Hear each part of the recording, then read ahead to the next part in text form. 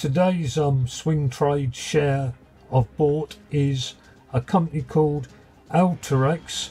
Um, they are um, a self-service data analytics software providing company, and there's been a lot of write-ups um, on the um, financial blogs saying they're a good buy.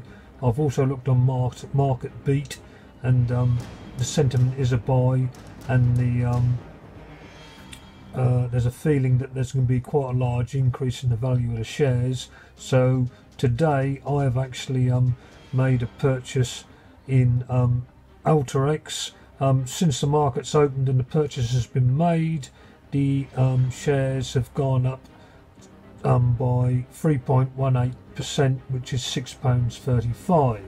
So that is today's um, swing trade.